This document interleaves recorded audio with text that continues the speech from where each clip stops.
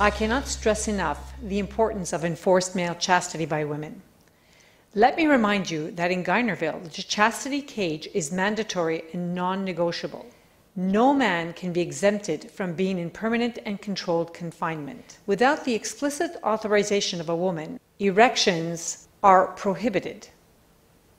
In GynarVille, this applies to anyone who has a penis, and this without any discrimination. Husbands, brothers, adult sons, neighbors, gays, transgenders, sissies, and even transvestites.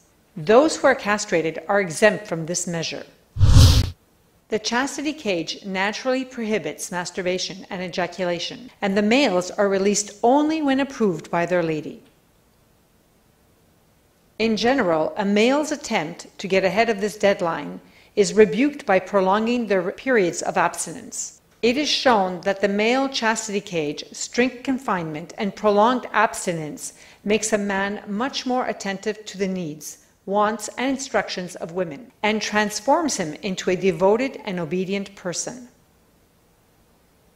Each woman has her own method of managing males, but I just want to highlight a few basic principles that must be applied in all circumstances. A man is not allowed to bring up the subject of his cage.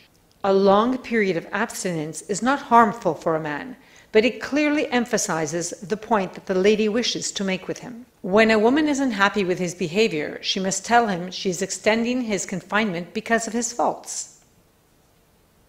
During this period of prolonged chastity, the man will have ample time to think about how to correct his bad attitude. Every hour spent in the chastity cage reminds him of his faults and brings him closer to a solution. Once he has found the solution, he must then continue to be confined until he comes up with a plan on how to ensure that he satisfies his tutor at all times.